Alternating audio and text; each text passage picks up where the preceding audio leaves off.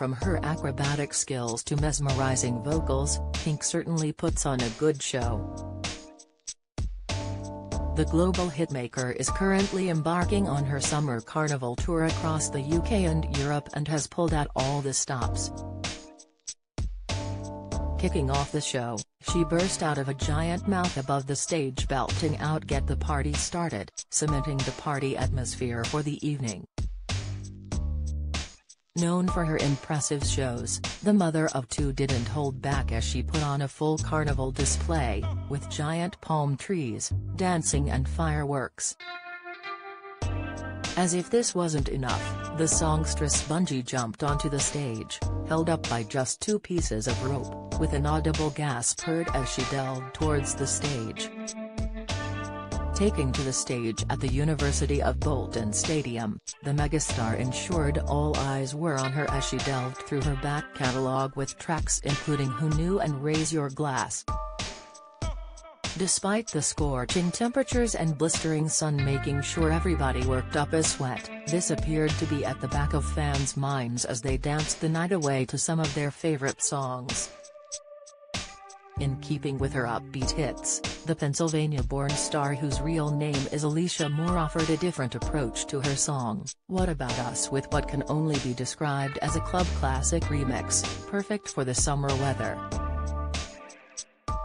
But while her music had people dancing away, she made the brave decision, which paid off, to slow things down with an acoustic set with herself and her guitarist Justin Derrico commanding the stage with just their voices and a guitar.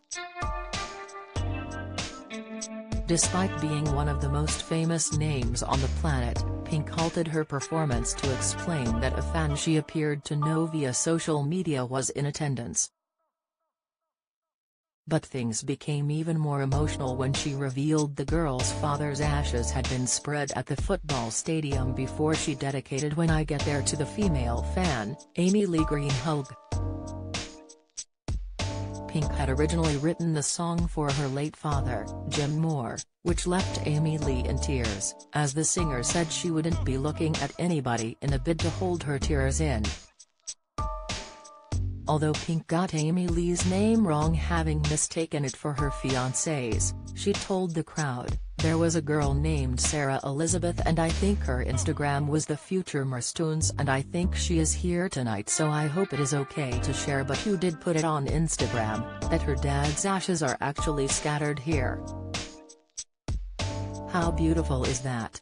It's incredible and I was crying last night during when I got there and I was just about to get it together when everyone else started crying and it was just a S show. Sarah, Amy Lee, this is for your papa.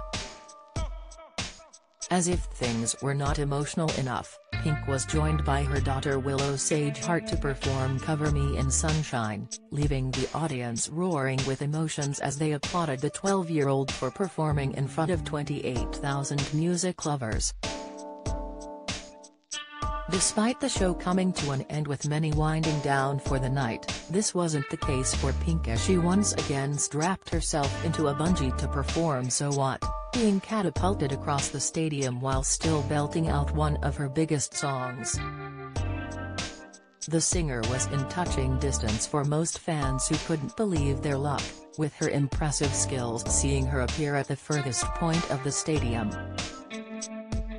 Overall, the Summer Carnival Tour is hands down one of the best concerts, ever.